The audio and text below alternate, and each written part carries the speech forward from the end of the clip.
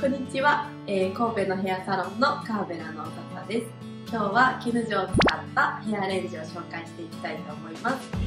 い、じゃあ今回のモデルさんはボブなのでボブでもできる簡単なヘアレンジを紹介していきたいと思います。まずアレンジの前に絹地を使って波ウェーブをしていきます。今回していくのが真ん中とえこめかみともみあげの5箇所だけで大丈夫です。早速アイロンしていきます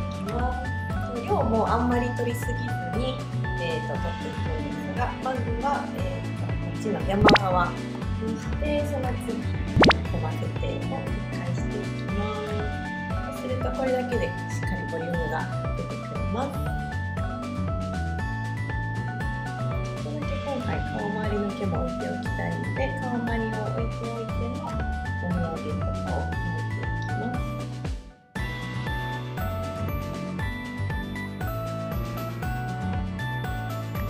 箇所分けましたはい。でアレンジの方を続きしていきたいと思いますえーと、顔周りのこめかみより少し上の手を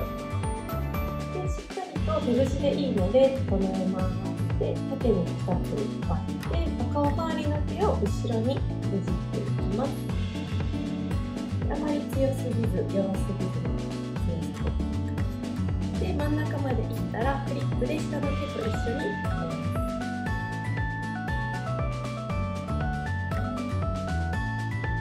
最後前髪を巻いていくんですが、えーと、いきなりガバッと取らずに少しずつ取っていきます。で流したい方向に最後、えーと、内巻きにした後に指でこう持っていってあげると勝手にそっちに流れてくれるので手に斜めにこう巻き取らずにまっすぐ前髪を巻いていってください。ヒル状のここの部分が丸くなっているので自然と内巻きになってくれる。すごく巻きやすくなってます。最後に、えーと、毛先の方を高めで巻いていきたいと思います。